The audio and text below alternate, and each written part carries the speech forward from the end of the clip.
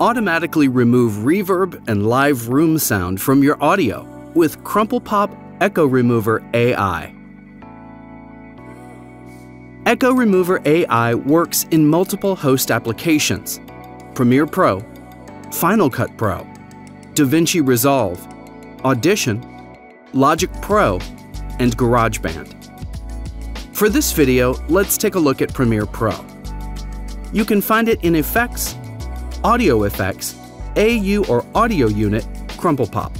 After installing EchoRemover AI, Adobe Apps might require you to go to Preferences, Audio, Audio Plugin Manager, and then Scan for Plugins. I've got a clip that's got a lot of live room echo in it. Hey there, so if you recorded in a space where there was a lot of echo, you know, a lot of hard surfaces for sound waves to be bouncing off of, you probably got something that sounds a little bit like this. This is not acceptable for production, so I need to remove the echo and deaden the room. I'll add EchoRemover AI to the clip.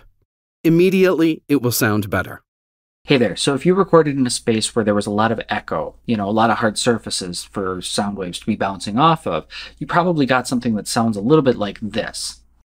Usually, all you'll need to do is adjust the strength control. Echo Remover AI removes room echo automatically, leaving the voice sounding natural. For best results with quiet audio, raise the audio level of the track before you add EchoRemover AI. There are three extra dials to adjust the final sound. Dryness sets how aggressive the echo removal is. Body adds thickness to the voice. And tone adds brightness to the voice. At any point, click the Info button to get a guide on what everything does. When you like what you hear, save a preset to apply to other similar clips. CrumplePop Echo Remover AI is powerful easy to use, and can be a lifesaver to remove unwanted echo from your audio. Every video editor, audio engineer, and podcaster should have it in their toolbox.